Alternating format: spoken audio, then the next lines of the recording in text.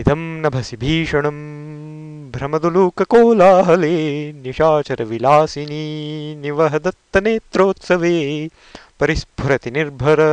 प्रचुरपङ्कमग्नोल्लसद् वराहकुलमंसलं प्रबलबन्धं बन्धं तमः